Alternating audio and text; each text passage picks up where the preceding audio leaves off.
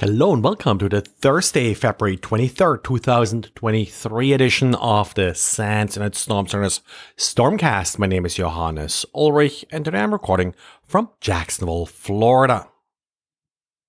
Just a quick reminder uh, to be careful that you patch various tools your developers are using. Don't have any real numbers for that, but at least it feels like we are seeing sort of an increase in attacks against developer uh, tools, in particular over the last few months. Today, I wrote up an scan that's trying to fingerprint vulnerable Confluence servers.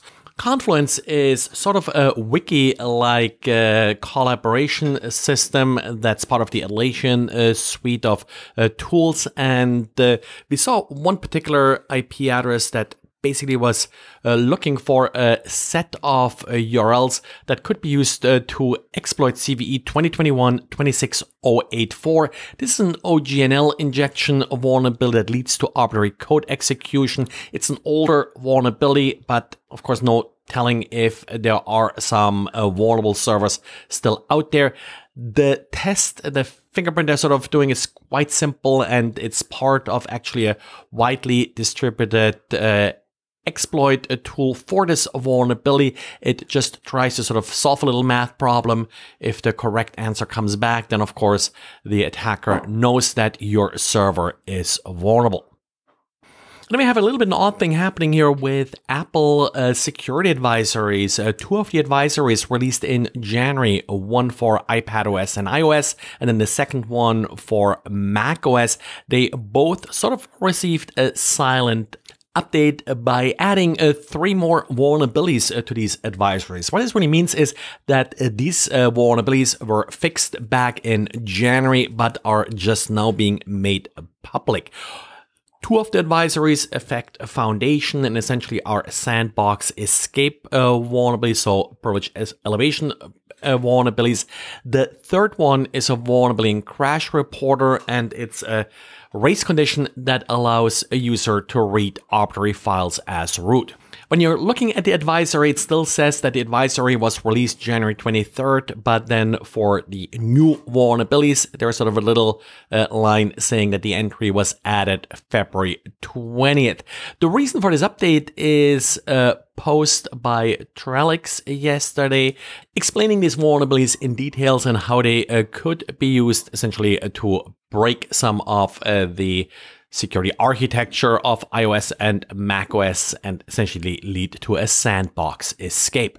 In particular, uh, these bugs could be used to bypass some of the added protection that Apple implemented in response to the Pegasus uh, toolkit that was uh, used by the NSO group. So nothing you need to do given that the patch was released exactly a month ago.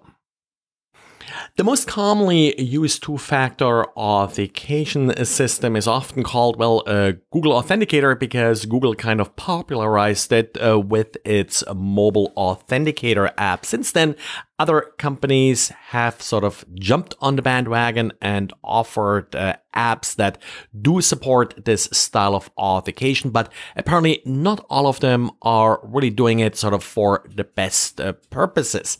Software company Mysk uh, did uh, now release uh, some work on Twitter where they looked into some of the more shady applications that offer a two-factor authentication in Apple's App Store and one, for example, they point out here, which actually even is actively advertising on Apple's App Store, is not only sending the QR codes it's collecting to uh, Google Analytics. This may be an oversight. This may just be sort of sloppy coding, but uh, they also uh, do sell a subscription uh, for uh, their uh, application, which you know, again, usually these applications are free. They are not really all that complex. And the subscriptions being offered here is going for about $4 a week. So at the very least, this could be considered fleeceware, but uh, overall, I would stay away from any application like this. If you are dealing with authentication, stick with a vendor that you trust. And of course, many uh, decent uh, password uh, safe applications do already sort of provide this functionality. And in noteworthy advisories, we do have a critical advisory by VMware for its Carbon Black app control.